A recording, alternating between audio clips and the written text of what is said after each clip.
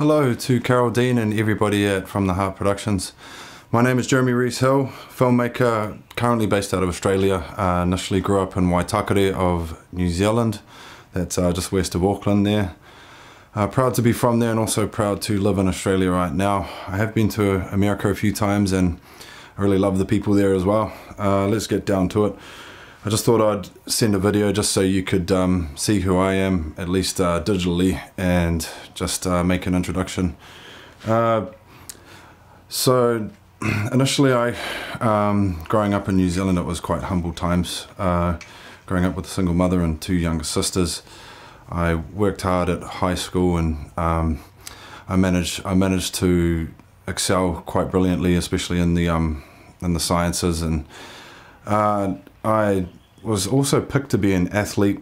Um, I had a, a, really good year playing rugby league um, in under 20s and I was picked to go pro, but then I broke my ankle, so that was quite heartbreaking. But I think that kind of put me on a good path where I turned um, my head back to academics and ended up going to university.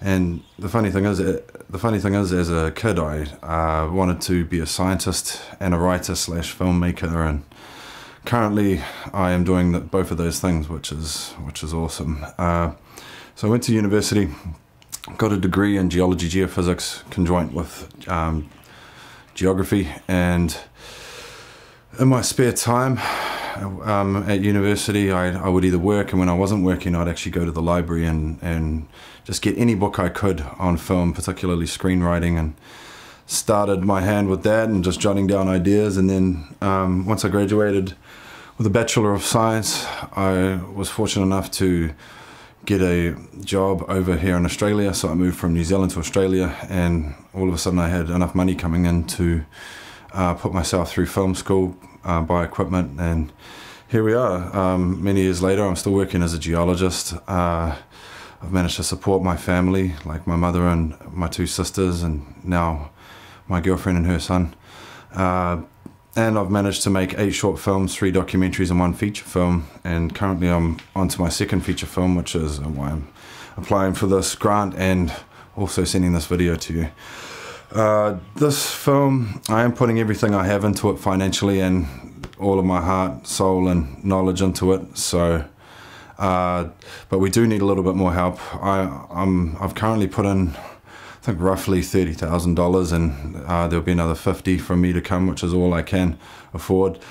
Luckily, uh, fortunately, I, I have two wonderful lead actresses that are already locked in, and a wonderful crew and cast already locked in. We just need a little bit more financial support, a little bit more cash flow. Uh, 80, when I say $80,000, that's 80,000 Australian dollars, so roughly 56,655 by uh, dollars American by current um, currency, the, the current ratio of currency, and uh, yeah, uh, we need a we need about that um, matched from a financier or this grant or. So that that's that's why I'm um, making this application, um, and I would really appreciate your consideration. And yeah, just thank you as well for doing what you do. It's wonderful to know there's great people like yourself and great organizations like this one from the Heart Productions uh, that are giving back to the people. I just bless you for that. And um, yeah, so a little bit more about this project. Um, excuse me, it's really hot here in Australia at the moment. Uh, the, this is a crime mystery drama. Uh, we follow two detectives who are both females uh, as they uncover a web of corruption and some pretty brutal murders. It's it's in it's in the mold of uh, Seven and Chinatown, two of my favorite crime mysteries. Although it's more modern and artistic and has my st uh, stylistic signature on it, and um, yeah, it's it's quite interesting uh, with two female leads. The reason I've there's a couple of reasons I've gone this way. is um, because here in Queensland of Australia, which is the state I live in, um, Through all the projects I have done, uh, there's just been an ocean of talent in that particular demographic. Uh, the females aged 18 to say mid 30s and we just you know whenever I've auditioned we just we just get like a, a, wave of talented young young ladies auditioning. So when it came time to write to write this uh, particular narrative, I was just like, well, why wouldn't I uh, go, you know, where the bread is? Uh, why wouldn't I go where the most talent is? Um, and it was that particular demographic. But it's also a great time, I feel, to push these stories. One's with diversity, you know. Um, we need more uh, narratives with females in the lead roles, and it's also an ode to uh, all the all the females in my life that have had such a big influence on me and that I love, and I wouldn't be here uh, in the great position I am in today without.